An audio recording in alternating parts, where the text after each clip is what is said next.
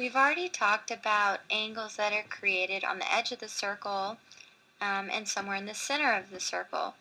Uh, well, now we need to look at angles that are created outside the circle, such as the ones shown by these two intersecting secant lines.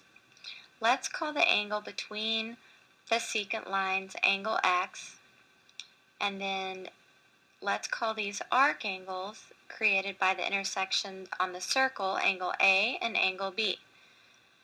As you can see, um, other lines can create um, intersections outside the circle as well, such as between two tangents or a secant and a tangent. First, let's look at the intersection of two secants.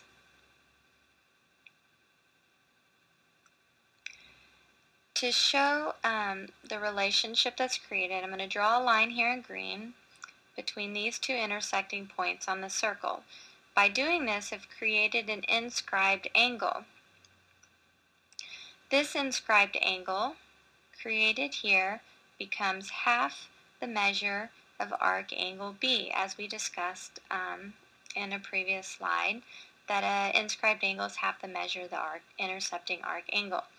Also, another inner uh, inscribed angle was created here, creating half the measure of um, this arc angle B. And going back to the exterior angle being equal to the sum of the remote interior angles, that makes half this half angle B equal to the sum of half angle A plus x. Um, and then when you rearrange that, you then find that angle x then will be half the difference between arc angle A and B. The same relationship can be shown between two tangent lines, calling this angle x arc angle A and arc angle B. By drawing this line in green, we've created an inscribed angle here and an inscribed angle here. And the same relationship exists um, using the exterior angle is equal to the sum of the remote interior angles.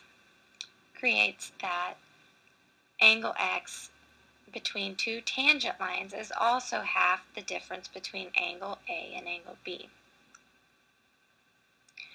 And the same relationship can then be shown between a tangent line and a secant line because once again in the green line we've created two inscribed angles and then an exterior angle of a triangle.